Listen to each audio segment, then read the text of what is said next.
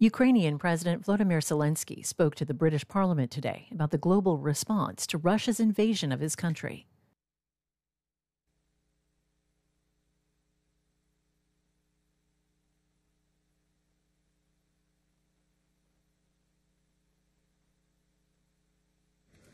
Order, order. We are now meeting informally. As I informed the House earlier, given the exceptional and grave situation, I've agreed to a request from President Zelensky of the Ukraine to address members of this House about the situation in his country. That is why I have suspended the formal business of the House in order to hear the President's address. We have also been joined by the Ukraine Ambassador. President Zelensky, we have watched the situation unfold in your country with increasing concern, but also with increasing admiration for the courage, the fortitude displayed by you and your fellow Ukrainians. Mr President, you are welcome to address members of the House of Commons and the Lords. You now have the floor. President. Yeah.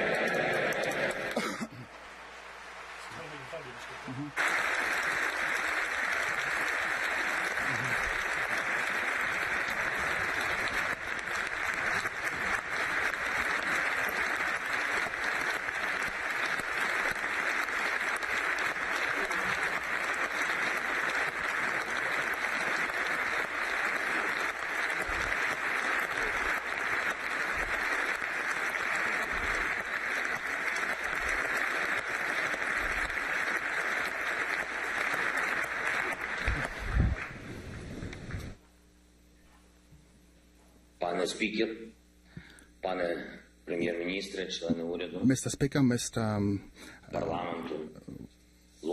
all, all the members of Parliament, ladies and gentlemen. I'm addressing all the people of the United Kingdom and all the people from the country with a big history. I am addressing you as a citizen, as a president of also a big country with a dream and big effort. I would like to tell you about the three days of uh, about the 13 days of war, the war that we didn't start and we didn't want it. However, we have to conduct this war. We do not want to lose what we have, what is ours, our country, Ukraine, just the same way as you once didn't want to lose your country when Nazis started to fight your country. And you had to fight for Britain. 13 days of the struggle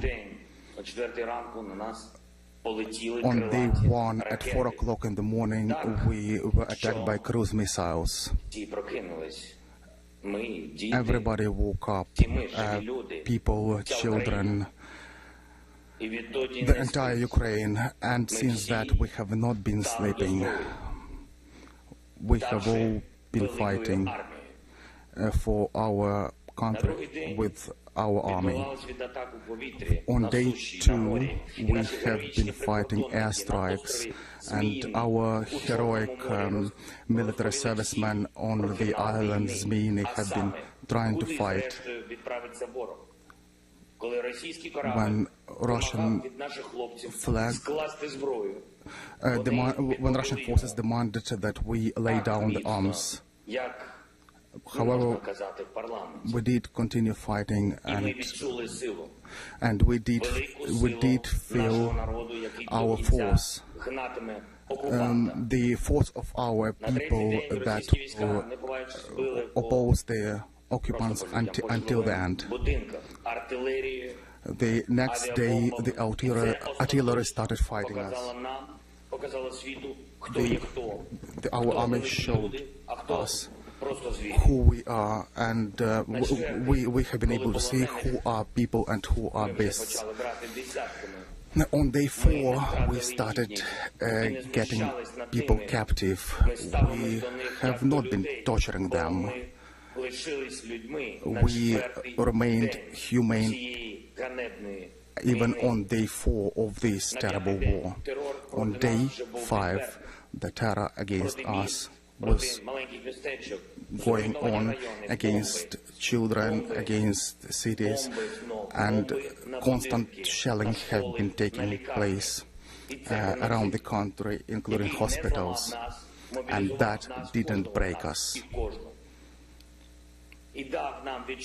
And that gave us feeling of big truth. On day six, the Russian um, rockets uh, fell on Babin Yar, that is the place where the Nazis killed uh, thousands of people during the Second World War. Uh, and uh, 80 years after, the Russia hit at them for the second time.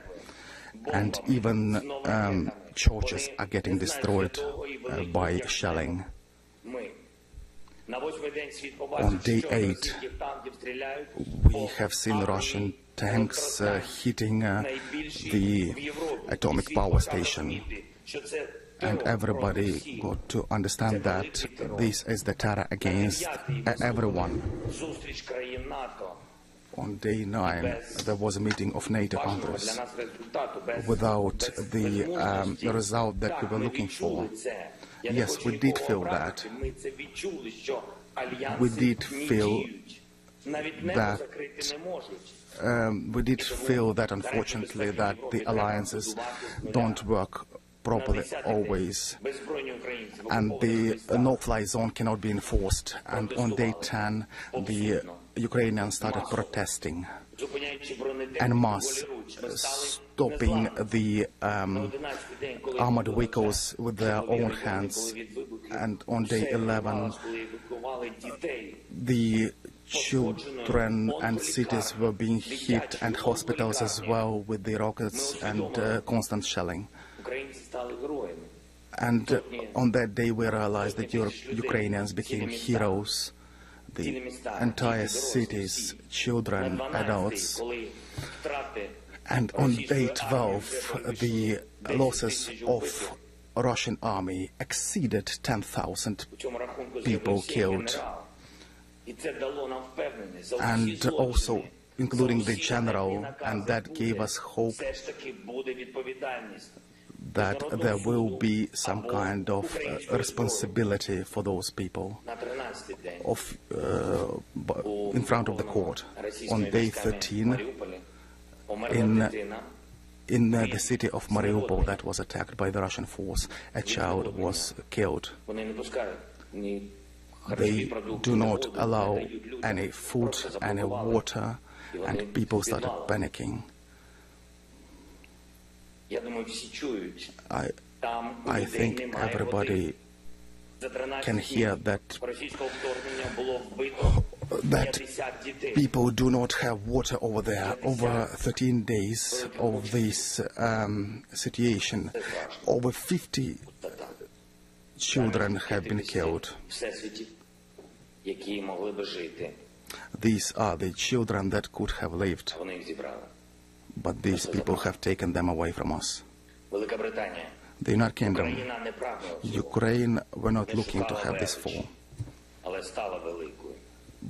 The Ukraine have not been looking to become uh, big, but they have become big over the days um, of this war.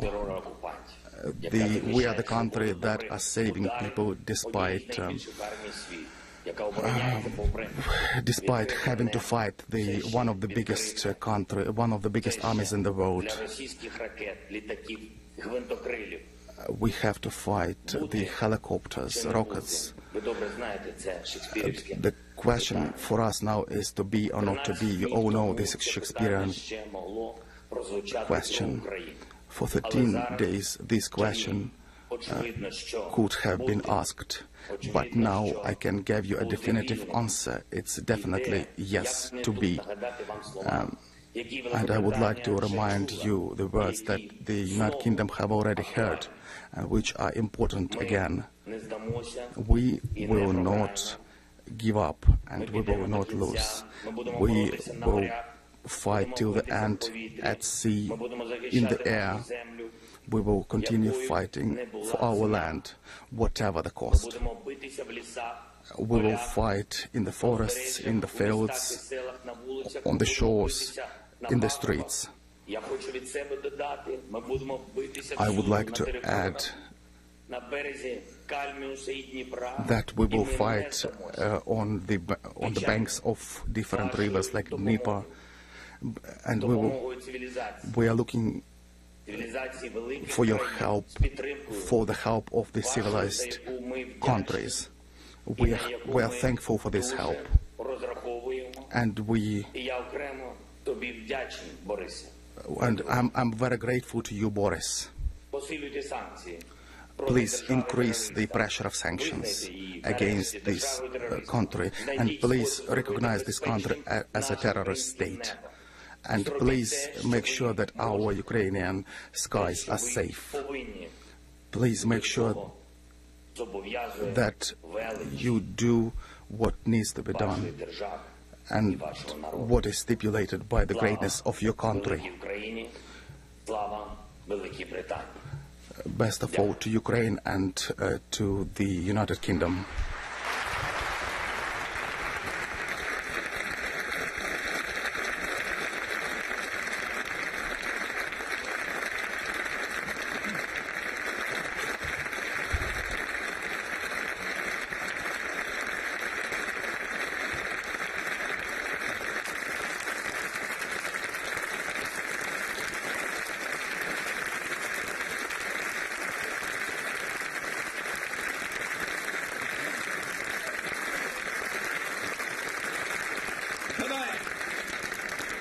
Thank you, Mr President. On behalf of the House of Commons, I want, I want to thank you for speaking to us and for giving us very clearly and powerful perspective of the tragic situation facing you and fellow Ukrainians.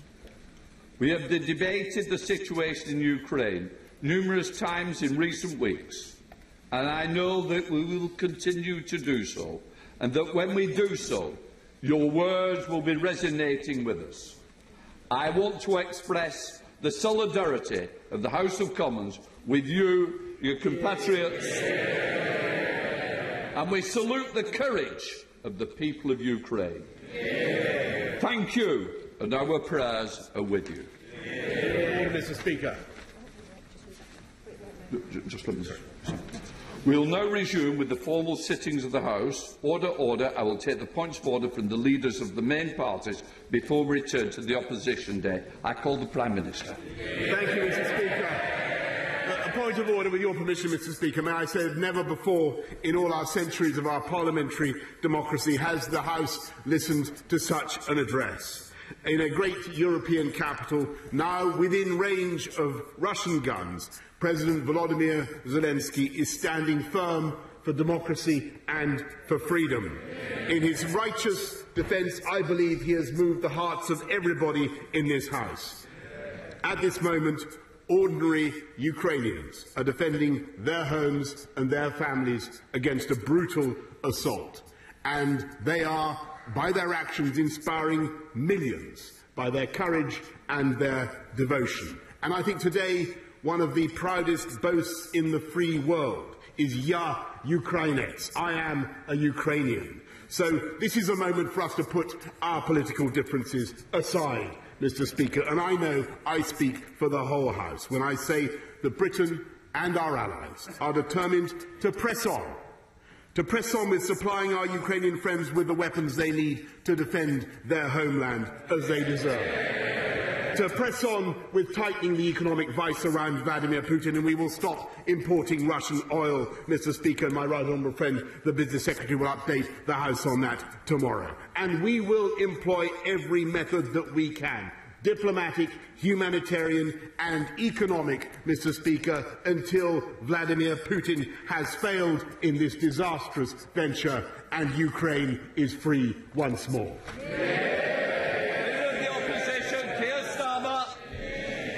Point of order, Mr Speaker. Every one of us has been moved by the bravery, the resolve and the leadership of President Zelensky. Invading troops marched through his streets. Shells rained down on his people and assassins seek his life. No one would have blamed him for fleeing. But instead, he has stayed in Kiev to lead the Ukrainian people and to fight. He's reminded us that our freedom and our democracy are invaluable. He's prompted the world into action where too often we've let Putin have his way. He's inspired the Ukrainian people to resist and frustrated the Russian war machine. He has shown his strength, and we must show him and the Ukrainian people our commitment and our support. Labour stands for the unity at home and abroad that will isolate the Putin regime. Yeah. Labour stands for the toughest sanctions that will cripple the Russian state. Yeah. Labour stands for providing Ukraine with the arms it needs to fight off their invaders. Yeah. Labour stands with President Zelensky, with Ukraine, with democracy. Slava Ukraini. Thank you, Mr. The SNP, Ian Blackford. Uh, thank you, Mr Speaker. With your forbearance, if I can make a point of order. President Zelensky, we salute you. We stand with the people of Ukraine on the basis of the act of aggression, on the act of war of Putin. We must do all that we can to send support to Ukraine, to send the weapons that they need to defend themselves to make sure that we sanction the regime in Moscow, that we deliver the clearest message to President Putin, that this will end in failure for him, that he will face justice at the International Court. We must stand in this House, throughout these islands, throughout the Western world, in defence of democracy, in defence of sovereignty. Peace, justice and the sovereignty of Ukraine must prevail. Let's make sure that we stand with our friends. We stand against those that have been bombed. We make sure that those that need our support, that need our sanctuary, will find a welcoming hand in these islands. Mr President, we thank you. We salute you. Slava, Ukraine. Yeah. David. Point of order, Mr Speaker. Hearing the words of President Zelensky should embolden us all. They serve as a reminder of all that we stand for, of all which so many Ukrainians are so bravely fighting for, a bravery exemplified by President Zelensky himself. That we should never take for granted our values of democracy, of freedom and of our security. And though we in this House may disagree on many things, we stand together for those values, and together we stand together with the, the Ukrainian people. Yeah. Mr Speaker, it is right that we strengthen our support for Ukraine with military aid, with toughest of sanctions. And it's in that support that we should also recognise the people of Ukraine and indeed President Zelensky. I'm sure the whole House would agree that President Zelensky should be granted one of our nation's highest honours, an honorary knighthood. And I look forward to the day when we welcome back to this House President Zelensky in person. Yeah. Sir Jeffrey Donaldson. Thank you, Mr Speaker. On a point of order, uh, we uh, commend President Zelensky and the people of Ukraine and we stand with them in this, uh, their time of strife. But our response will not be judged by the volume or strength of our applause for President Zelensky.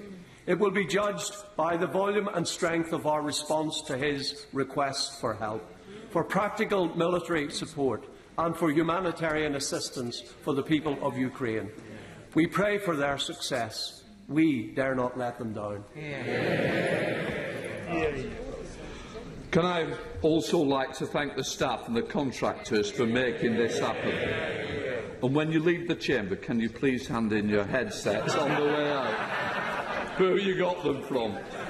I will now let the chamber clear. Thank you, everybody.